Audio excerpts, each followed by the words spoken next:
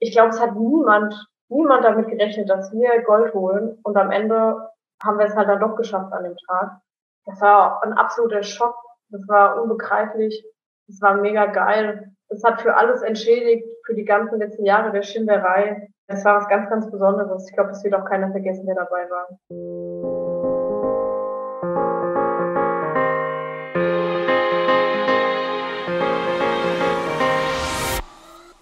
Hi und herzlich willkommen zu Folge 25 des Team Deutschland Podcast, dem Podcast, wo wir den Weg der besten deutschen Sportlerinnen und Sportler nach Tokio begleiten, zu den Olympischen Spielen, die da hoffentlich dieses Jahr im Sommer stattfinden. Mein Name ist Jens Behler und ich begleite die Athletinnen und Athleten hier im Podcast auf ihrem Weg.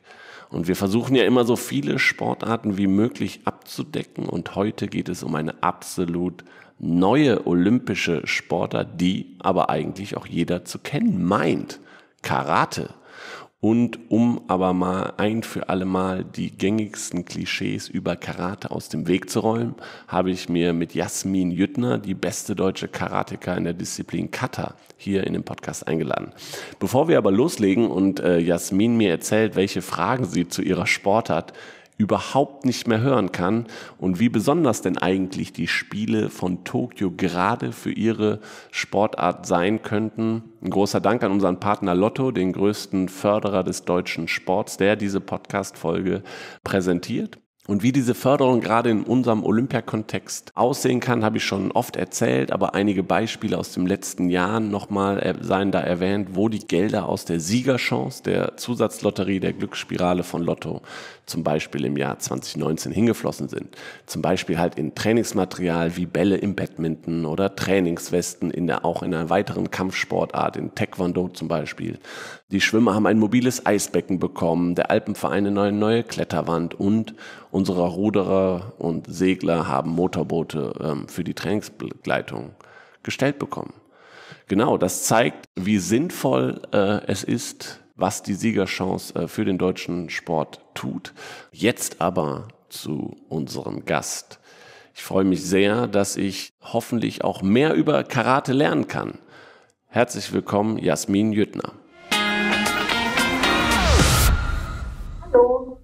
Schön, dass du da bist. Wir sprechen natürlich über Karate. Da hat jeder da draußen so seine eigenen Vorstellungen, was Karate ist die differenzieren sich aber auch in verschiedenste Wege, was Karate ist. Ich glaube, du müsstest uns mal beschreiben, was denn die Sportart Karate und auch die Wettkampfsportart Karate so ausmacht. Da gibt es verschiedene Disziplinen. Ich glaube, da brauchen wir eine kurze Einordnung.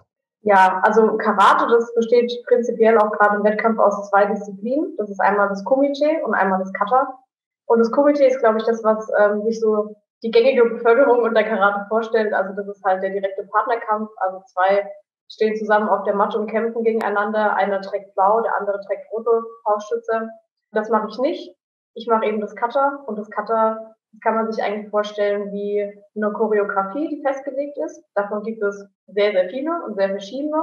Und ähm, die demonstriert man dann eben auf dem Wettkampf. Also es ist eine vorgefertigte, festgelegte Reihenfolge und man kriegt dann halt daraufhin eine Bewertung in der Technik und in der Athletik, bisschen so wie im Turnen.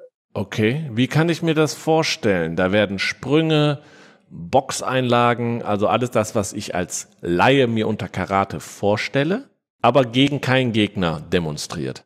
Genau, richtig. Also es ist ja auch eine Kampfkunst, also Karate, beziehungsweise auch gerade das Kata.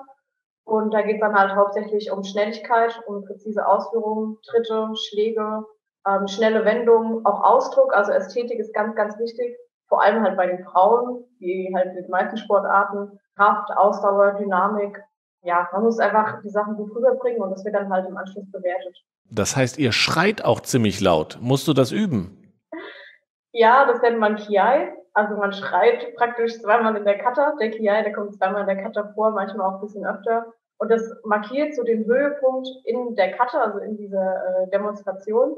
Und ich übe das natürlich auch. Also im Training machen wir das auch. Das gehört bei uns einfach dazu. Das ist jetzt für mich eigentlich nichts Ungewöhnliches. Ich stelle mir gerade das so vor, dass ja vielleicht ihr gar nicht in die Trainingshalle kommt. Übst du das auch manchmal zu Hause? Stört das die Nachbarn? Also ich schreie zu Hause eher weniger rum. höchstens mal meinen Mann an, aber das hat dann mit Karate nicht so viel zu tun. Ähm, nee, das mache ich nicht. Ich denke auch, es würde die Nachbarn stören. Ich glaube, es reicht auch, wenn ich das im Dojo mache, also bei uns ähm, im Training. Ich denke, es ähm, reicht absolut aus, um mein Goldkehlchen einzustimmen für den Wettkampf. Aber das kann man, also du brauchst natürlich dazu auch die Bewegung. Ne? Also ich kann mir jetzt das Schreien an sich, das kommt halt, ist ja quasi mit der Bewegung und mit der Aktion zusammen verbunden und dann funktioniert das auch. Du könntest jetzt hier nicht in dem Podcast einen Schrei loslassen. Ich könnte schon, aber ich denke, das will keiner. Und das Lustige ist, wir haben ja Fragen gestellt zu mhm. dir auf Instagram und du hast diesen Beitrag geteilt und hast direkt drei Fragen reingeschrieben, die man auf keinen Fall stellen sollte. Ja, und die stellst du jetzt. Die stelle ich natürlich jetzt, aber Achso. natürlich mit der Einordnung, ich kann mir denken, warum du das gesagt hast, weil eben Karate hat jeder seine eigene Vorstellung. Kämpft ihr viel mit Vorurteilen, was eure Sportart angeht? Ja, schon. Ich auf jeden Fall ist auch immer das Erste, was ich höre. Du siehst gar nicht so aus, als würdest du Karate machen. Ja, doch. Ich sehe eigentlich genauso aus, als würde ich Karate machen, wenn man weiß, wie die Leute aussehen. Und ähm, auch so. Also die wenigsten wissen wirklich, was Karate ist und was wir da machen, wie wir trainieren, wie der Wettkampf aussieht. Ist halt irgendwie schade, aber. Wie sehr nervt denn das? Ja, ich kann es schon irgendwo verstehen. Also sind halt leider wirklich äh, medial nicht ganz so präsent wie andere Sportarten. Das ist halt wirklich doof also ich versuche es auch immer so ein bisschen zu ändern, zumindest ein bisschen auf meinem Instagram-Account und auch andere, die bei uns in der Mannschaft sind. Aber so die Masse, die weiß einfach nicht, was Karate genau ist. Die verbinden damit halt meistens Karate Kid oder Jackie Chan. Es ist halt schwierig, das zu ändern. Ich glaube, es dauert auch noch ein paar Jahre, bis das wirklich bei jedem ankommt, was wir da eigentlich treiben. Aber deswegen absolute Empfehlung für Zuhörerinnen und Zuhörer, dir auf Instagram zu folgen, weil da kriegt man wirklich einen guten Einblick. At minibloil Jetzt musst du was zu sagen. Warum Mini Bloil? Weil ich so heiße. also Bloil ist mein, ist mein Mädchenname und Mini halt von Jasmin, also als Spitzname, deswegen Mini Bloil. Das ist einfach mein Name, da steckt nichts dahinter. okay, manchmal kann es so einfach sein. Ja, ne? Fragen, die müssen wir natürlich jetzt trotzdem stellen. Die da immer kommen. Karate Kid kennt jeder und dann fragen sie natürlich eine Frau, könntest du mich umhauen? Was antwortet man drauf? Ich weiß nicht, wenn da jetzt ein 100 Kilo Gewichtheber auf mich zukommt, wahrscheinlich könnte ich ihn nicht umhauen. Ja, also bin ich ganz ehrlich, das wäre eine Herausforderung. Und darin besteht auch nicht mein Trainingsalltag, irgendwelche Leute umzuhauen. Und es ist auch immer interessant, dass Leute denken, nur weil ich Karate mache, dass ich dann random auf der Straße rumlaufe und mich auch in irgendwelche, in irgendwelche Prügeleien da reinkomme. Oder es irgendwie mal ständig dazu kommt, dass ich mich verteidigen muss. Das ist halt nicht der Fall. Genau, aber das ist ja auch die nächste Frage. Ne? Wie oft musst du dich auf der Straße selbst verteidigen? Aber das ist ja, ich glaube, im Kopf der Leute, und das finde ich das Spannende, Karate ist Selbstverteidigung und Karate ist Prügeln. So, dieses Kata, was du machst, was du gerade als Karate-Kunst, ne, als Kampfkunst beschrieben hast, das ist bei den Leuten überhaupt nicht im Kopf, wenn es um Karate geht. Das stimmt, gar nicht. Nee, gar nicht. Das ist schade. Also es ist ja auch eigentlich eine, eine schöne, jetzt noch nicht so alte Kampfkunst, aber es ist wirklich auch gerade für, für Zuschauer sehr, sehr interessant. Also ich habe das schon oft gehört von Leuten, die das vorher nicht kannten und dann mal zugeschaut haben bei Wettkämpfen. Ich glaube, man kann sich das auch als Laie einfach gut anschauen und auch genießen, weil es ist ein bisschen so wie jemandem zuzuschauen, der gut tanzt. Das ist einfach eine, Darbietung von viel Körperbeherrschung und Technik und eleganten Bewegungen, schnellen Bewegungen. Und es ist interessant, das ist relativ kurz, also man kann sich das mal anschauen. Das ist so eine Karte, das sind so vielleicht drei Minuten. Ja, ich denke, das würde, wenn das mehr Leuten zugänglich gemacht werden würde, würden das auch viele ganz cool finden. Ich kann mir das aber, wenn ich mir das angucke, ich finde, hat ja viel auch mit nicht nur, dass es eine schöne Darbietung ist, sondern auch für eine Kampfkunst. Du machst es ja viel für dich auch selber. Ne? Es ist Körperbeherrschung, es ist irgendwie sein Körper zu spüren, zu wissen, was man kann. Ich finde, da ist ja auch eine Parallele, was eigentlich gerade total Hype ist, Yoga oder sonst was. Ich mache was für mich. Ich finde, da ein bisschen Parallelen sehe ich da schon. Siehst du das auch? Ja, ich mache das schon auch für mich. Ich meine, ich habe ja auch irgendwann mal damit angefangen als Kind und da habe ich das ja hauptsächlich auch gemacht, es mir Spaß gemacht hat. Ne? Ich trainiere auch Karate, wenn ich keine Wettkämpfe habe oder jetzt auch gerade, wenn irgendwie mal lange Zeit, wie jetzt in dieser Corona-Zeit, wenn halt lange Zeit mal nichts ansteht, dann stelle ich mich auch gern irgendwo in einen Raum oder ins Dojo und trainiere einfach Karate, weil es mir halt Spaß macht. Und es ist schon auch ein Gefühl von, ja, man ist schon sehr befriedigt, wenn man halt Techniken macht und die passen einfach genau. Das kann ich schwer erklären, aber so koordinative Sachen, ich glaube, andere Sportarten kennen es auch, wenn man irgendwie koordinativ anspruchsvolle Übungen macht und die klappen einfach gut, dann ist es so eine innere Zufriedenheit, die sich da einstellt und da macht auch das Training einfach Spaß. Okay, erzähl mal eine koordinativ anspruchsvolle Übung. Auf einem Bein stehen und langsam das andere Bein heben. Ah, da fällt mir jetzt spontan was ein, also wirklich aus dem Yoga. Und zwar, ich weiß jetzt nicht, wie das heißt, aber da gibt es ja diesen herabschauenden Hund.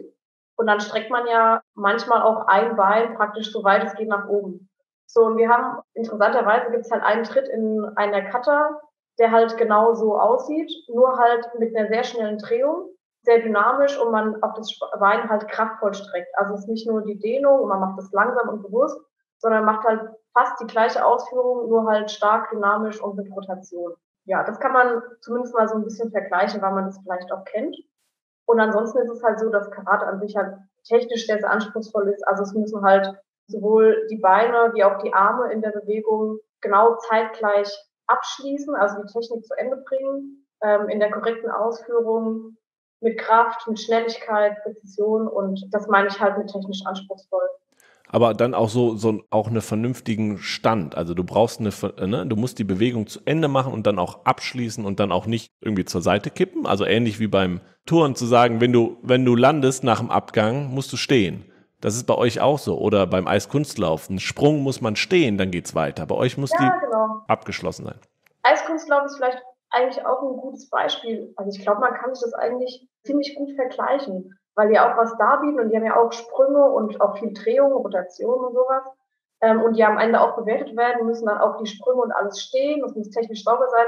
Und bei uns ist halt das Gleiche, nur bei uns ist es halt Cutter, wir machen es barfuß und auf der Matte und nicht auf dem Eis. Barfuß ist auch noch ein Thema. Ihr habt ja eine gewisse Wettkampfkleidung, was einem bei Karate natürlich auch immer in den Sinn kommt. Es gibt verschiedenfarbige Gürtel. Mhm. Ehrlicherweise auch hier in meiner Vorstellung kriegt man Gürtel, wenn man Turniere gewinnt oder sonst was. Kannst du dazu was sagen? Ist Kata und Kumite auch was die Gürtelfarben angeht, muss man andere Dinge leisten, um einen Gürtel zu bekommen? Oder ist es vielleicht nur eine ähm, Kata, die man durchführen muss, um eine gewisse Gürtelfarbe zu bekommen? Also es ist so, dass man im Karate zu jedem Gürtel auch eine Prüfung ablegen muss und die ist festgeschrieben schon immer. Und egal, ob ich jetzt äh, Kumite-Athlet bin oder Kata-Athlet, es müssen alle die gleiche Prüfung ablegen. Und da sind dann auch alle Elemente, so die wichtigen Elemente in Karate enthalten. Also es muss auch, wenn man Kumite-Athlet ist, muss man halt eine Kata zeigen, die ist auch eigentlich vorgegeben bis zum Schwarzgurt. Und man muss auch Kumite machen, also ich muss mich dann halt auch hinstellen, muss auch kämpfen. Und man muss dann halt noch so Grundübungen zeigen, also ganz normale Schrittfolgen, ganz normale Tritte, so die Basics, die werden auch immer nochmal abgeprüft und es ist für jeden gleich. Also bei der Prüfung gibt es irgendwie kein, kein Sonderrecht für irgendwen. Verstehen sich Komitee und Kata Kämpferinnen und Kämpfer oder denken die einen von den anderen, warum macht ihr denn überhaupt das? Das andere ist doch spannender. Nee, wir verstehen uns alle sehr gut im Team, also im deutschen Nationalteam und auch international. Klar, natürlich, wenn man halt für Komitee irgendwie mehr das Herz schlägt oder halt mehr für Cutter das Herz schlägt, dann ist das halt so, aber wir sind da alle ein Team und wir starten ja auch alle auf sehr hohem Niveau. Und man kennt sich auch schon jahrelang und die fiebeln da mit einem mit, sitzen auf der Tribüne, die klatschen. Und ähm, andersrum ist es genau das Gleiche. Jetzt hast du international ein bisschen angesprochen. Ich glaube, Karate ist schon eine weltweite Bewegung, ursprünglich klar aus dem asiatischen Raum, aber es gibt weltweit Karatekämpferinnen und Kämpfer und wie hast du auch einen Überblick, wie es in Deutschland aussieht? Weil Karate kennt tatsächlich, wie gesagt, jeder kann sich ein bisschen was darunter vorstellen, aber wie viel, wie viel Vereine gibt es, wie viel ähm, Sportlerinnen und Sportler in Deutschland? Hast du da eine grobe, grobe Zahl? Also ich weiß, glaube ich, dass wir der ähm, größte Verband, also wir haben die meisten Mitglieder eines nicht-olympischen Verbandes und ich finde, das sagt eigentlich auch schon echt viel aus. Also Karate ist halt ein cooler Sport, auch gerade so für, sag jetzt mal, Breitensportler, ja, für Breitensportler, weil man das halt eigentlich individuell macht, also für sich selber, aber man trainiert halt immer in der Gruppe. Also man hat halt ein cooles Gemeinschaftsgefühl. Ich meine, das mag jeder, das macht jedem Spaß, das findet irgendwie jeder toll, egal welches Alter. Und auch gerade bei Kindern ist es relativ im Kommen, glaube ich, weil halt auch hier wirklich viele Werte vermittelt werden, wie Respekt und äh, ich höre dem anderen zu und ja, ich kann mich selber ausdrücken, Selbstbewusstsein, lauter solche Sachen. Das ist ein gutes Stichwort, weil wir können auch mal darüber sprechen, wie du zum Karate gekommen bist und damit auch auf deinen Weg blicken äh, bis zum jetzigen Zeitpunkt, der dich dann hoffentlich äh, zu den Olympischen Spielen nach Tokio führen wird. Das ist ja Thema hier im Podcast. Ähm, dafür hast du uns wie alle Gäste vorher Fotos äh, vorab geschickt, die wir natürlich auf den Team Deutschland Social Media Kanälen spielen. Da kann man sich dann nochmal angucken. Und das erste Bild, was du mir geschickt hast, Du bist noch ein äh, junges Mädchen ähm, im weißen Karate-Anzug mit blauem Gürtel. Was man nicht sieht, ich glaube, das ist in einer Turnhalle. Da ist äh, ja ganz äh, einfacher Turnhallenboden, wie jeder aus der aus der seiner Schulzeit noch kennt. Ähm, erzähl uns was zu deinen Anfängen. Wie bist du zum Karate gekommen? Und also du siehst da schon sehr sehr selbstbewusst und glücklich aus in dem, was du tust, muss ich sagen. Ja, ich wollte eigentlich, also da war ich sieben Jahre alt, glaube ich, auf dem Bild, oder vielleicht acht Jahre. Und ich wollte damals eigentlich ähm, Ballett machen weil eine Freundin von mir Ballett gemacht hat und ähm, ich habe die immer in Tütüs gesehen und ich habe früher nur Kleider getragen und ich fand es ganz toll. Und dann habe ich halt meinen Eltern gefragt und wie es halt so damals war, so im Jahr 2000 ungefähr, kurz nach den 90ern, da hat man halt für so Sportvereine eher mal die Zeitung durchgeblättert als das Internet. Und dann hat mein Vater halt in der Zeitung geschaut und dann gab es eine Anzeige für ein Karate-Training. Und dann hat er mir das auch relativ gut verkauft. Oh, toll, oh, Karate und so weiter meine Eltern, vor allem mein Papa, der war halt auch ein, ja, ein großer Fan von Bruce Lee und fand es halt dann irgendwie toll und äh, war dann halt so begeistert und ich stand dann halt daneben und dachte mir, ja, okay, machst du halt mal die Probestunde. So, und dann sind wir da halt hingefahren. War damals noch ein kleiner Verein, der TV Strötzbach, also da aus dem Ort, aus dem ich herkomme. Und dann habe ich die erste Stunde gemacht und fand so, ja, fand's okay. Und äh, meine Eltern waren aber so begeistert irgendwie. Und ich habe auch relativ schnell gemerkt, dass ich da so ein bisschen Talent für habe. Und dann dachte ich, ach, dann gehst du noch mal hin. Ja, und dann bin ich irgendwann dabei geblieben. Also mir hat dann halt immer mehr Spaß gemacht. Ich war jetzt nicht sofort Feuer und Flamme, aber es kam dann so nach und nach. Ich fand es immer toller und irgendwie immer cooler auch. Und habe ich auch, war auch immer ganz stolz, dass ich Karate mache und dann doch nicht Ballett und fand es irgendwie cool. Und ja, seitdem bin ich halt dabei geblieben dann. Im Ballett ist es das Kleidchen, aber ihr habt ja hier auch einen Anzug und auch diese Gürtel, also das macht einen doch sicherlich auch stolz und begleitet einen beim Weg und auch hält einen an der Stange zu sagen, ah, das will ich, wenn man ehrgeizig ist, das will ich halt auch noch schaffen. Ja, auf jeden Fall. Mein ersten Karawananzug, den haben meine Eltern auch, glaube ich, noch aufgehoben. Da war, jetzt weiß ich auch noch, den habe ich, glaube ich, zu Weihnachten gekriegt.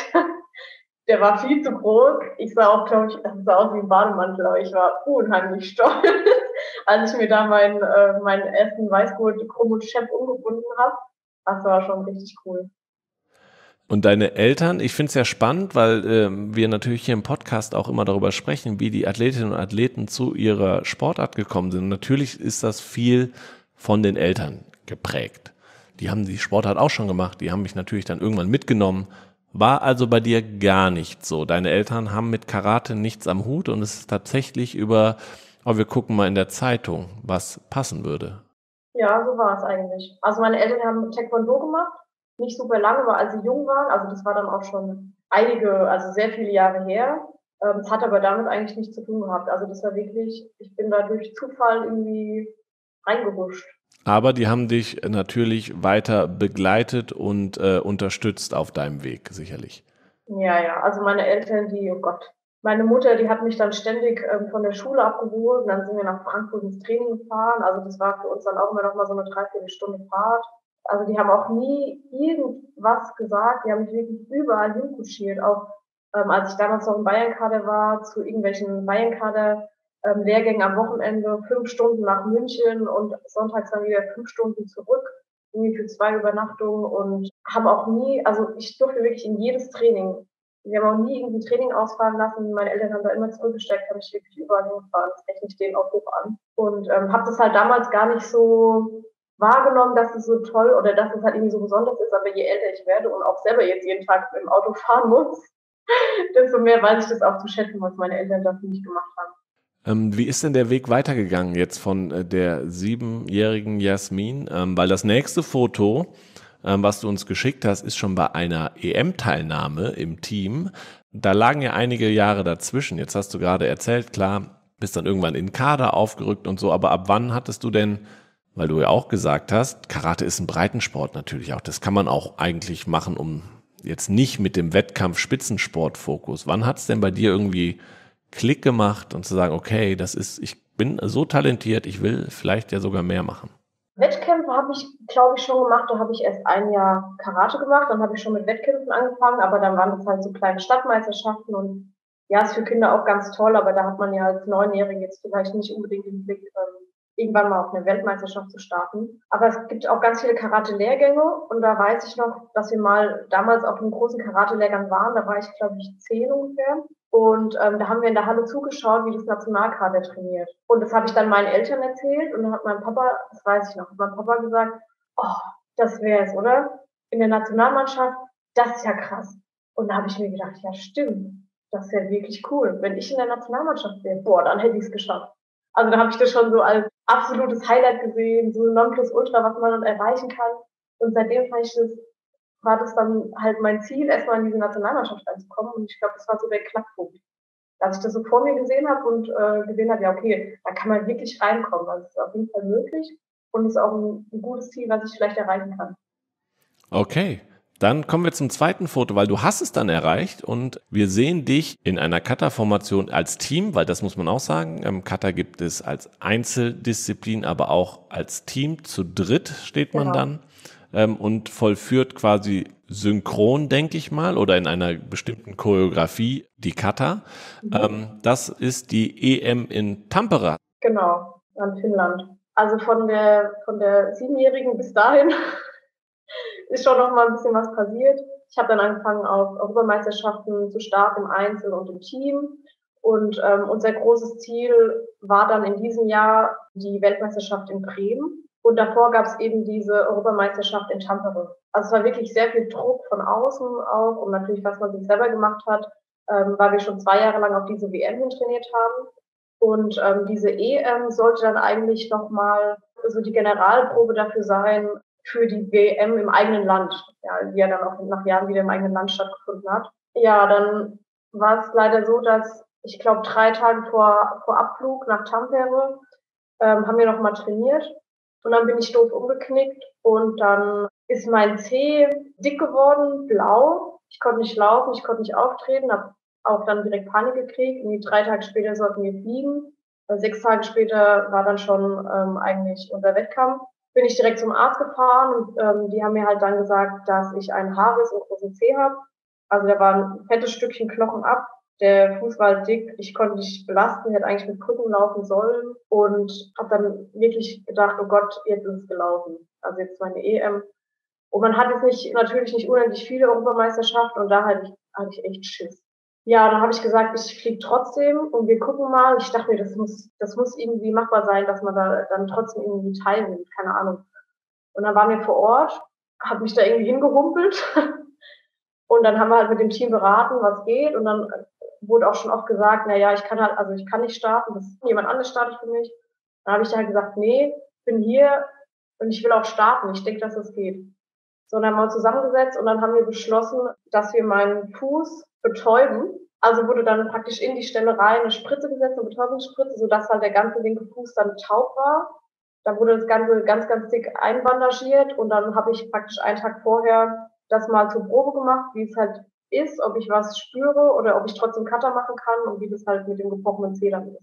Ja, das haben wir probiert und äh, das lief eigentlich ganz gut. Also ich habe halt den Fuß nicht gespürt, war aber jetzt eigentlich gar nicht so hinderlich, weil ich unbedingt starten wollte haben das dann für den Wettkampftag halt eben auch so gemacht. Und das war eigentlich, dachte ich mir, jetzt hast du es geschafft, wenn es so gut läuft, also wenn du jetzt trotzdem starten kannst und das hinkriegst, dann wird die Meisterschaft auch Bombe. Dann bin ich am ersten Tag rausgeflogen in der dritten Runde im Einzel. Das war schon niederschmetternd. Und dann haben wir im Team um den dritten Platz gekämpft, also um Bronze, und haben auch da verloren. Und das war für uns alle drei grausam. Also wirklich, wir haben gedacht, okay, wenn wir jetzt sogar in der Europameisterschaft rausfliegen, nicht mal Bronze holen, die sollen wir dann bei der Weltmeisterschaft ein paar Monate später dann irgendwie auftrumpfen. Und ähm, das war, glaube ich, ein ziemliches Down für uns alle drei auf diesem Weg zur Weltmeisterschaft im eigenen Land. Aber anscheinend habt ihr euch da ganz gut rausgekämpft oder du, ähm, weil das nächste Bild, was du uns geschickt hast, ist dann von der WM in Bremen, korrekt? Ja, ja. Genau. Ähm, und da sehe ich dich sehr, sehr glücklich ähm, mit einem äh, Coach, Betreuer, Trainer ähm, im Arm. Du streckst eine Medaille in die Kamera und bist natürlich sehr, sehr happy. Dann erzähl was dazu. Das war dann eben die Weltmeisterschaft in Bremen 2014. Also jetzt rückblickend war das, glaube ich, die schönste und auch die absolut grausamste Zeit, die ich je erlebt habe. Das war so dermaßen nervenaufreibend. Wir haben wirklich zwei Jahre lang auf diesen Tag trainiert. Jeder hat Druck gemacht, also wirklich jeder, vom Verband, Freunden, Familien. Das war wirklich enorm. Wenn ich mir auch jetzt rückblickend Bilder anschaue aus der Zeit, da sehe ich irgendwie auch nicht gesund aus. Also es war wirklich nervenzehrend, aber am Ende hat sich's gelohnt. Ich habe dann den dritten Platz, also Bronze geholt in, in der Einzeldisziplin. Das war sonntags. Da, äh, da habe ich Bronze geholt, hatte meinen Kampf, dann bin ich rausgegangen. Ich war so dermaßen fertig mit der Welt, dass ich mich in den Aufwärmraum gelegt habe, bin direkt eingeschlafen. Das passiert mir auch nie mal, also mir in meinem Leben noch nie passiert. Ähm, dann bin ich aufgestanden, aufgestanden. Zwei Stunden später gab's Kaffee und dann haben wir um Gold gekämpft gegen die absolute, ja, ich sage jetzt mal, die Favoriten aus Japan, die eigentlich immer alles abräumen. Wir waren schon mehr als froh oder mehr als dankbar auch dafür, dass wir es ins Finale geschafft haben von dieser WM. Ich glaube, es hat niemand, niemand damit gerechnet, dass wir Gold holen und am Ende haben wir es halt dann doch geschafft an dem Tag. Das war ein absoluter Schock. Das war unbegreiflich. Das war mega geil. Das hat für alles entschädigt, für die ganzen letzten Jahre der Schinderei. Das war was ganz, ganz Besonderes. Ich glaube, das wird auch keiner vergessen, der dabei war. Spannend, total. Wie, wie war die Stimmung in Bremen? War da, war da viel los? Hat das irgendwie auch äh, karatemäßig einen kleinen Schub gegeben? So eine Heim-WM, ihr wart erfolgreich? Ja, es war brutal viel los. Also die Halle war, die Arena, die war ausverkauft. Da ging es ab. Also die Leute haben geschrien. Das habe ich auch nie erlebt. Auf der einen Seite kommst du dann da rein und du guckst da hoch und denkst dir, oh geil, die sind alle für uns da, die schreien alle für uns. Und dann denkst du dir, ah scheiße, die sind alle wegen dir da, die schreien alle wegen dir. Wenn du es jetzt verkackst, dann ist es aber schlecht. Ja, aber es war wirklich, die Stimmung war bombastisch. Wir hatten so viel Rückhalt und so viele, ich sag jetzt mal Fans, die ganze Familie war da. Also es war wirklich unbeschreiblich. Aber die sind wie beim Eiskunstlauf oder beim Turnen, die sind dann schon still, wenn ihr eure Übung macht und jubeln eher danach? Oder gibt es Zwischenjubler, wenn jemand eine, eine verdammt gute Performance hinlegt? Ja, ja, die gibt es auf jeden Fall. Gerade so in der Karte, auch so bei den Höhepunkten oder bei schwierigen Sachen oder auch ähm, um zu unterstützen und zu motivieren, gibt es äh, zwischendrin auch, also wird auch gejubelt, wurde auch damals gejubelt. Im Anschluss an der Kata im Team folgt ja auch immer noch das sogenannte Bunkai. Also wir machen dann so eine Art Schaukampf mit Würfen und Tritten und allem Möglichen und da geht es dann meistens auch nochmal ordentlich ab, stimmungsmäßig. Und es war da auch so, es war halt auch ein geiles Feeling. Schön, aber habt ihr grundsätzlich ist dann schon was Besonderes, wenn die Halle so voll ist bei einer WM und so viel Stimmung ist? Wie sind so normal eure Wettkämpfe? Ja, das ist schon sehr unterschiedlich. Es kommt auch gerade drauf an, wo man ist. Also wir hatten jetzt auch Wettkämpfe in ähm, Tokio zum Beispiel. Und da ist einfach per se, da war die Halle auch sehr voll, weil halt in Tokio, da waren super viele Zuschauer. Also der Auftakt für unsere Olympia-Quali, der war damals 2018 in Berlin. Da war es jetzt eher nicht ganz so voll. Also da hätten schon noch ein paar Leute auf die Tribüne gepasst. Ist halt schade. Also es kommt wirklich stark drauf an. Ähm, es ist auch nicht bei jeder WM komplett ausverkauft. Aber es wird, glaube ich, tendenziell eher ein bisschen mehr als weniger. Okay.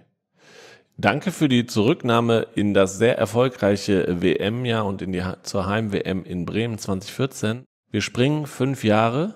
Das nächste Foto, was du uns geschickt hast, haben wir im Vorgespräch auch schon besprochen. Ähm, das war kein Höhepunkt für dich, sondern eher ähm, das Gegenteil. Und zwar ähm, ist das ein Foto, du stehst im Vordergrund mit einem Trainingsanzug. Im Hintergrund sind viele Nationenflaggen. Ich sehe ein, ein Feuer im Hintergrund, eine Flagge mit dem Logo der European Games 2019 in Minsk. Ja ja, Ähm, war dann bei der Eröffnungsfeier und du schaust noch sehr glücklich aus. Erzähl uns ein bisschen was zu diesem Foto und den European Games. Ja, da muss man vielleicht auch ein bisschen äh, kurz weiter ausholen. Und zwar unsere Quali für Olympia, die geht ja zwei Jahre lang und wir sammeln praktisch zwei Jahre lang über Turniere, ähm, sammeln wir Punkte, um uns für Olympia zu qualifizieren. Und ähm, wir haben auch im Zuge dessen ungefähr, ich sage jetzt mal wirklich im Schnitt alle sechs Wochen, manchmal auch direkt das Wochenende drauf sind wir durch die Welt gereist und haben an Wettkämpfen teilgenommen. Also wirklich brutal viel im Vergleich zu dem, was wir sonst so an Wettkämpfen haben. Mein absolutes Ziel war es auch immer noch, bei Olympia teilzunehmen. Und ähm, mit dem Gedanken im Kopf habe ich dann halt angefangen bei dieser Quali 2018 ähm, in Berlin, Ende des Jahres. Es war schon so von Anfang an, dass es einfach nicht richtig geklappt hat. Also es war eher eine Niederlage nach der anderen. Ich bin da wirklich ähm, ständig rausgeflogen und sich dann halt auch immer wieder aufzuraffen und nochmal zu motivieren und sich nochmal einzureden, man wird es schaffen und nochmal weiter zu trainieren und immer wieder an seine Grenzen zu gehen, ohne zu sehen, dass da irgendwas bei rauskommt. Das ist halt wirklich mehr als zermürbend. Und dann waren eben 2019 diese European Games und ähm, ich war da schon damals 2015 am Start und habe da um Platz drei halt damals leider verloren und dachte mir nach diesem Jahr, also ich hatte dann für die European Games wirklich ein gutes Gefühl und dachte mir, jetzt, jetzt hole ich die Medaille, jetzt reicht's mir. Und dann bin ich da angetreten und hatte auch, muss ich sagen, ähm, einen ganz guten Pool erwischt. Also so Gegnerinnen, wo ich angeschaut habe und habe gesagt, okay, das, ja, das kann ich diesmal schaffen. Und dann bin ich in der ersten Runde an den Start gegangen und in der zweiten Runde, dann werden wir benot, also bekommen Punkte. Und ähm, wer dann halt die wenigsten Punkte bekommt, der fliegt halt raus, also der kommt nicht in die nächste Runde wir waren vier Leute in meinem Pool, also ich hatte praktisch drei Gegnerinnen und habe halt von allen mit Abstand am wenigsten Punkte bekommen. Und das fand ich so unfair, muss ich wirklich sagen. Ich habe, also ich suche dann auch immer den Fehler bei mir, aber an dem Punkt fand ich es so ungerecht und so unfair. Ja, soll ich sagen, da war ich einem richtigen Tief auch, als ich nach Hause gekommen bin, monatelang. Ich habe mich dann nur noch ins Training gequält ich äh, habe mich dann auch zwischendrin mal gefragt, okay, wie, was, wie machst du jetzt weiter? Jetzt muss ja mal irgendwas ändern, irgendwie mal ein Aufschwung kommen. Es kann nicht sein, dass es einfach so beknackt weitergeht, wie es jetzt die ganze Zeit war. Und das war wirklich, also da habe ich auch im Training gestanden, habe Übungen abgebrochen. Das habe ich in meinem Leben vorher noch nie gemacht, weil ich einfach gedacht habe, nee, wofür? Also jetzt jahrelang kämpfen ohne eine Medaille, ohne einen Lichtblick. Wie machst du jetzt weiter? Kommt das häufiger vor, dass man sich so und das ist ja bei ähm, Sportarten, die irgendwie von einem Kampfgericht oder von Richtern abhängen, öfter so, dass man sich ungerecht behandelt fühlt. Hast du das schon mal öfter erlebt oder war das da extrem? Nee, das habe ich schon sehr oft, oft erlebt. Also es ist halt leider so, dass es immer noch relativ subjektiv ist. Ich meine, es wird halt subjektiv von Menschen bewertet, die halt finden, ähm, dass der eine das stärker gemacht hat oder der andere irgendwie schneller und dann geben die halt ihre Bewertung ab. Aber das war irgendwie der Gipfel. So, also nach Jahren nicht immer, aber ab und zu schon oder wirklich oft ungerecht bewertet oder halt ähm, unterpunktet, sag ich mal. Das war so das i-Tüpfelchen der ganzen Schinderei. Und ähm, dementsprechend ging es mir dann halt auch. Wie hast du dich denn aus diesem Loch wieder rausgekämpft? Also ich muss wirklich sagen, da war auch mit äh, mein ehemaliger Mentaltrainer wirklich für, für ähm, verantwortlich. Der hat mich aus dem Loch da wieder rausgeholt. Also ich habe dann mit dem telefoniert, habe ihn angerufen, habe ihm erklärt, was da so passiert ist und so weiter und wie es mir geht. Der hatte schon immer so ein bisschen die Begabung, einfach nur zuzuhören und dann halt ein bisschen was zu sagen und dann fühlt man sich halt irgendwie besser oder fühlt, sich verstanden in dem, was man da fühlt. Und so war das da auch. Und nach dem Telefonat habe ich dann einfach gedacht, okay, jetzt reicht's. Es muss irgendwas machen. Es muss irgendwas ändern. So kann es nicht weitergehen. Da hat er mich aus dem Loch auf jeden Fall rausgeholt. Also man muss sich selber ein bisschen aus, mit den Haaren irgendwie aus dem Schlamm rausziehen. Aber in dem Fall hat er mir da wirklich sehr geholfen. Sagst du, dass du das auch, auch klar als Learning mitnimmst, so, dass du dich da vielleicht nicht mehr so von so einem Tiefschlag so beeinflussen lässt oder dass man als Sportler eh immer wieder aufstehen muss und ähm, eh mit gelernt hat, mit Niederlagen umzugehen? Ja, ich finde, das sind immer so Floskeln, die hört man auch immer ständig. Ja, fall siebenmal hin, steh achtmal auf ähm, als Sportler lernt man, mit Niederlagen umzugehen. Ja, klar lernt man als Sportler mit Niederlagen umzugehen. Aber wenn ich halt in drei Jahren irgendwie bei 20 Turnieren jedes Mal auf den Mund krieg oder halt da irgendwie rausfliege und es läuft halt so, also bescheiden, da bringt mir dann sowas auch nichts mehr mit noch einmal aufstehen, sondern da muss man halt irgendwie für sich auch dann eine neue Taktik finden oder ich weiß nicht, irgendwas finden, was einen da, was einen da wieder rausholt, aber dann einfach immer zu sagen, ja, man muss dann da stark sein und sich da, da irgendwie wieder rauskämpfen. Das ist halt immer leichter gesagt als getan. Ja, besonders braucht man positive Erfolgserlebnisse irgendwann wieder. Kamen die denn? Die kamen dann reichlich spät und auch gerade so kurz vor Corona, als Corona dann wieder alles platt gemacht hat. Ähm, ich habe dann angefangen, auch mit einem neuen Mentaltrainer zusammenzuarbeiten. der hat mir auch von Anfang an das Gefühl vermittelt oder mir halt eingetrichtert auch, dass ich das wirklich kann und dass ich nicht an mir zweifeln soll und ähm, dass ich das auch vor allem verdient habe. Und das war für mich so der ausschlaggebende Satz, so ich habe es verdient. Und dann habe ich mir gedacht, ja, Gott, mein Gott, ja, das hast du dir verdient, irgendwie nach fünf Jahren der Niederlage irgendwie mal wieder wenigstens einen Medaillenkampf zu haben. Das steht dir einfach zu. Und dann habe ich auch sehr schnell gemerkt, dass es dann mit seiner Hilfe auch wirklich aufwärts ging. Dann nochmal zusätzlich zu Sachen, die wir im Training geändert haben. Und dann kam die Meisterschaft im März in äh, Salzburg in Österreich, wo ich dann auch wirklich nach vier, vielen Jahren mal wieder einen Medaillenkampf hatte. Ähm, ich habe den verloren. Es war allerdings gegen Japan. Also es war jetzt, war absolut okay. Aber da mal wieder um eine Medaille zu kämpfen, nach diesem ganzen Mist, das war ein unbeschreibliches Gefühl. Und ich habe so richtig gemerkt, wie es bei mir so einen Aufschwung gab. Also von der Motivation, vom Trainings, also von allem, von der Einstellung, von, von allem einfach. Und das hat mich richtig, richtig gepusht.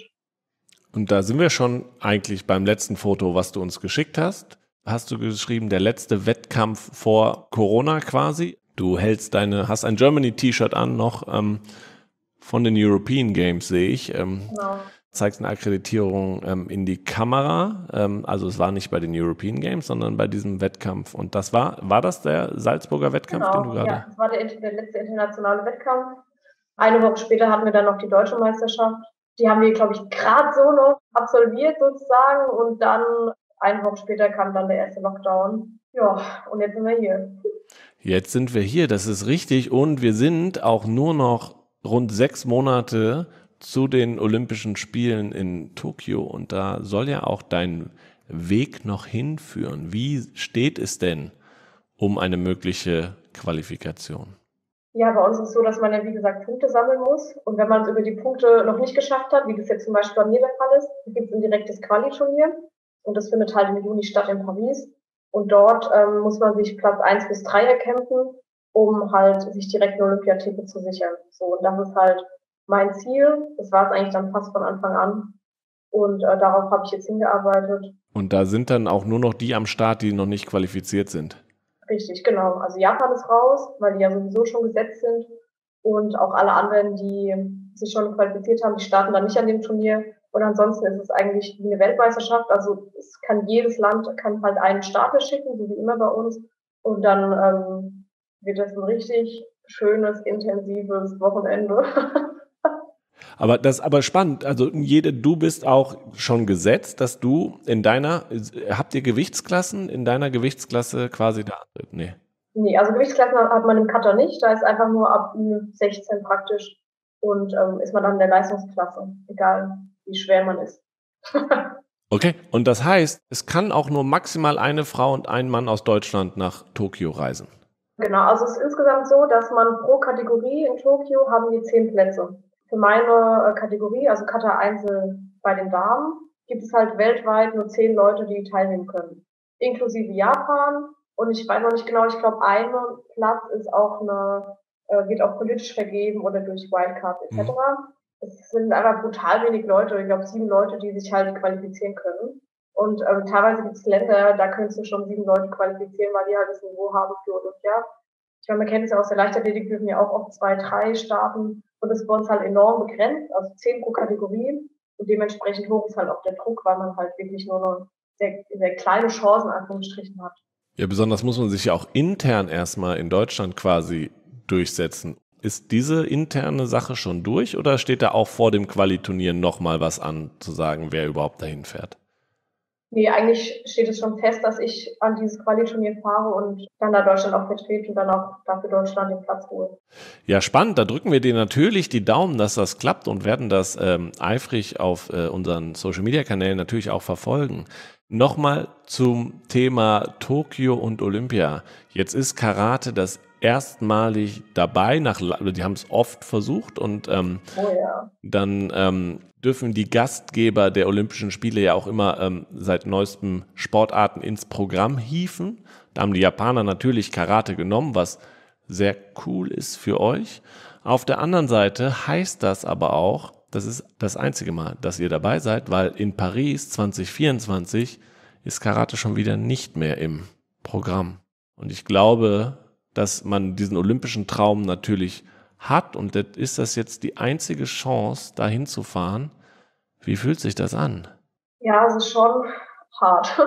Also damals kam dann die Nachricht, wir haben es geschafft, wir sind bei Olympia. Ja, ja, aber nur zehn Leute pro Kategorie. Oh, Kacke. Also es ist halt dann auch irgendwie ähm, nach der Fahrt der Gefühle gewesen, weil man erst gedacht hat, oh yeah, cool, Olympia. Und man rechnet ja irgendwie damit einer pro Land erfahren. Und dann halt eben nur diese Beschränkung auf zehn Leute. Und dann kam ja dann auch noch, wie gesagt, die Nachricht jetzt vor kurzem, ist noch gar nicht so lange her, dass sie halt 2024 definitiv nicht mehr dabei sind. Ja, wie wir alle wissen, Olympia ist nur alle vier Jahre. Und falls es halt Karate dann nochmal zu Olympia schafft, was ich wirklich, wirklich hoffe, werde ich da dann halt auch wahrscheinlich nicht mehr an den Start gehen. Also da, man hat halt auch nicht als Leistungssportler irgendwie 30 Jahre, die man da machen kann auf so einem Niveau. Von daher wird es halt wahrscheinlich schwierig dann. Und das ist halt echt schade. Also das macht halt den Druck natürlich nochmal größer, weil jeder träumt von Olympia und du hast nur eine einzige Chance und wenn du die halt nicht wahrnimmst, dann hast du halt Pech gehabt. Also egal wie gut du danach bist, du kriegst halt die Chance nicht mehr. Und das ist schon, schon Druck.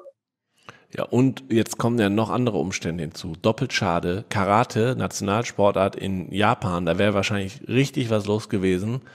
Ja, jetzt sind wir gespannt, wie die Spiele überhaupt stattfinden in Tokio, aber sicherlich nicht in dem Umfeld, wie man sich das erträumt oder erwünscht oder auch gehofft hat, ist das dir relativ egal, weil du denkst, okay, Hauptsache zu den Olympischen Spielen oder äh, schwingt da auch ein bisschen natürlich ein bisschen Wehmut mit zu sagen, das wäre, wenn es klappt, halt noch besser geworden?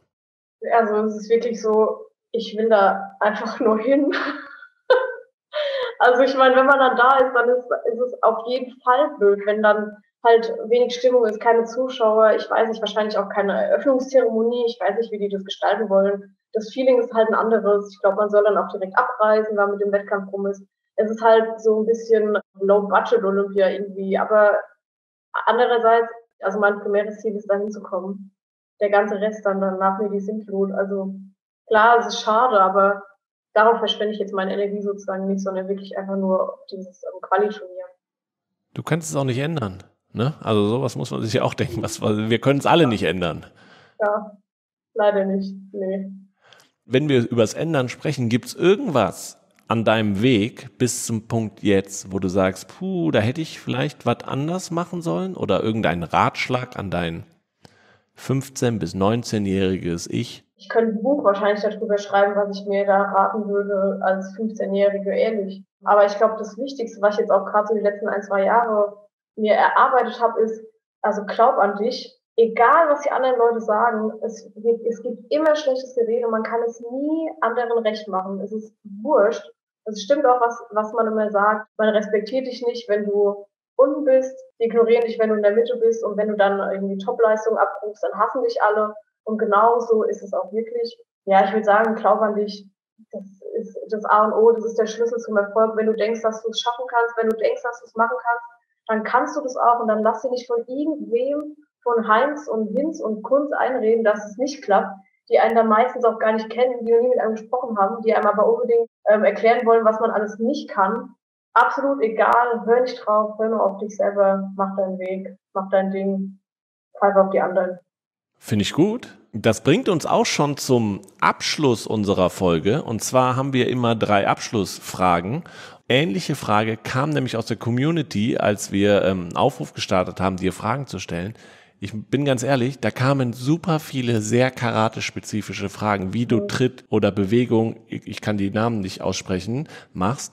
Ich schicke dir diese Fragen und vielleicht kannst du die auf deinem Instagram-Profil nochmal beantworten, weil ich glaube, da sind so karate-spezifische Fragen, dass du da vielleicht ja nochmal ein Q&A oder sonst was ja. mitmachen kannst. Ich habe mir eine, eher eine allgemeine rausgesucht, die aber zu dem passt, was du gerade erzählt hast. Und zwar, wie hat dich Karate in deiner Entwicklung als Mädchen beeinflusst? Auch schon in jungen Jahren. Du hast gerade erzählt, ähm, was du so jetzt mitnimmst, dass du es aber vielleicht erst in den letzten Jahren wirklich gelernt hast. Gibt es irgendwas, wo du sagst, hey, Karate, und das hast du ja am Anfang auch schon gesagt, als junges Mädchen ist schon, war schon, war schon gut. Hat dich das beeinflusst? Ja, es hat mich auf jeden Fall beeinflusst. Also ich glaube, leider viele junge Mädchen, die definieren sich auch gerade heutzutage jetzt, wenn sie nicht unbedingt Leistungssportlerin sind, über ihr Aussehen oder über Make-up oder über Fashion oder über ihren Instagram-Account oder weiß der Geier, also oberflächliches Zeug. Und ich habe mich halt immer über meinen Sport definiert. Also Also ich meine, so Sachen waren mir natürlich auch wichtig. Ich meine, ich war auch nur ein Mädchen und ich bin auch nur ein Mädchen. Aber trotzdem habe ich mich eher über meinen Sportart definiert als über alles andere. Also mir war es halt wichtig, dass ich im Training gut bin, dass der Wettkampf gut läuft, dass mein Karateanzug gut sitzt, dass meine Wettkampfvision gut aussieht. Also solche Sachen haben mich halt eher interessiert als alles andere. Und ich bin mir auch ziemlich sicher, was ich dann dadurch auch immer gut konnte oder immer war, ist, dass ich relativ selbstbewusst war. Also jetzt vielleicht nicht immer übertrieben selbstbewusst, aber schon, glaube ich, tendenziell, dass ich ein größeres Selbstbewusstsein hatte, vielleicht als andere Mädels in meinem Alter. Zweite Frage, und da sprichst du gerade Instagram an. Ich schaue mir für diese Frage immer das Instagram-Profil meines Gastes an und äh, stöber nach interessanten Sachen, die ich da sehe. Zum einen finde ich, großes Lob, ich finde, du machst das da super und äh, man kann echt deinen, deinen Weg sehr, sehr gut verfolgen. Ähm, dann ist mir aber aufgefallen, ich sehe dich, also eine Karateübung am Strand machen, im Sand, damit hätte ich nicht gerechnet. Was war das? Ja, ich habe damit auch nicht gerechnet. das waren, das waren die Beach Games 2019. Die hatte ich auch vorher ehrlich gesagt nie was von gehört. Ich glaube, Karate war zum ersten Mal dabei. Ich glaube, das waren die ersten Beach Games genau, überhaupt. stimmt, das waren die ersten Beach Games sogar. Also deswegen habe ich wahrscheinlich vorher nichts davon gehört, weil es die nicht gab. So. Genau, und da war halt Karate auch dabei und wir machen das ja normalerweise in der Halle, Hallensportart und auf Matten und so weiter. Da haben wir dann schon gerätselt, ah, Beach Games, wie machen die das dann mit den Matten, legen die die Matten auf den Sand, oh, das wird interessant, gibt es dann Podest, man kann wieder an und dann war es dann einfach im Sand, also halt Karate im Sand das war super interessant. Das war auch wirklich eine, ein sehr, sehr cooles Turnier, weil es einfach Spaß gemacht hat. War was anderes, war ein bisschen weniger Druck. Ähm, war auch sehr an der Grenze körperlich, weil wir halt wirklich dabei 35 Grad pralle Sonne ähm, da Karate gemacht haben, ohne Schatten, irgendwie mitten auf dem heißen Sand. Aber es war einfach cool. Also das ist eine Story, die kann man mal seinen Kindern erzählen, wenn man welche hat. Das hat sich auf jeden Fall gelohnt. Ich freue mich auch schon auf die nächsten Beach Games. Ja, cool. Da ähm, werden wir das noch intensiver verfolgen, was das ganze Thema angeht. Letzte Frage zum Abschluss. Das hast du ein bisschen schon beantwortet, aber vielleicht fällt dir noch was Spezifischeres ein. Was hast du beim Sport gelernt für dein Leben nach dem Sport? Dass sich immer irgendwas auftut, wenn man viel Energie in irgendwas investiert. Also ich glaube, es ist nicht so, wenn man sein Leben lang jetzt Energie und ähm, Aufmerksamkeit ganz viel investiert hat, in den Sport oder generell ähm, in das Erfolgreichsein, in das Zielstrebigsein, in das Ehrgeizigsein. Ich glaube nicht, dass man dann die sportliche Karriere beendet und es gibt keine Möglichkeiten, wie man weitermacht. Oder ergibt sich nichts. Das fügt sich dann einfach. Karma, irgendwie sowas. Sowas gibt es auf jeden Fall. Uni universelles Karma, irgendwie sowas. Okay, ich hoffe, dass dieses universelle Karma dich und deine Einstellung dann zu den Olympischen Spielen bringen. Ich hoffe, dass wir uns da dann äh, wiedersehen und wiederhören wir drücken auf jeden Fall ganz, ganz fest die Daumen, dass das bei dem Qualiturnier in Paris funktioniert. Das wäre toll, jemanden aus dem Kata-Team im Team Deutschland begrüßen zu können in Tokio. Darüber würden wir uns sehr, sehr freuen. Und danke, dass du hier im Podcast zu Gast warst. Ja, ich danke dir. Dankeschön. Genau. Und danken wir auch allen da draußen ähm, zum Zuhören. Nochmal der Hinweis, bitte folgt der Jasmin auf Instagram, at minibloil. Also Jasmin, vielen, vielen Dank. Bis dahin, ciao und tschüss. Ja, vielen Dank, Jasmin. Das war total spannend. Ich hoffe, wir konnten wirklich einige Klischees über Karate aus dem Weg räumen und ähm, ja, eine faszinierende Sportart auf jeden Fall. Ein großer Dank natürlich auch euch da draußen fürs Zuhören. Ich hoffe, ihr fandet es auch so interessant wie ich. Und ähm, ja, wenn es euch gefallen hat, empfehlt den Podcast weiter, verfolgt den Weg von Jasmin nach Tokio weiter, am besten auf Instagram unter @minibloil. Ähm, darüber haben wir ja auch schon gesprochen. Genau, und bleibt uns gewogen, bleibt dem Team Deutschland gewogen, folgt äh, Team Deutschland und all seinen Athleten und Athletinnen auf ihrem Weg nach Tokio auf Social Media, Instagram, Facebook, Twitter. TikTok. Ähm, da gibt's immer tolle Einblicke. Genau, empfehlt diesen Podcast weiter, darüber würden wir uns natürlich freuen. Ähm, großen Dank auch nochmal an Maniac Studios, die uns bei der Produktion hierbei unterstützen. Und wir hören uns in zwei Wochen wieder und sprechen mit einem Handballer kurz vor der Olympia-Quali in Berlin. Bis dahin, ciao und tschüss.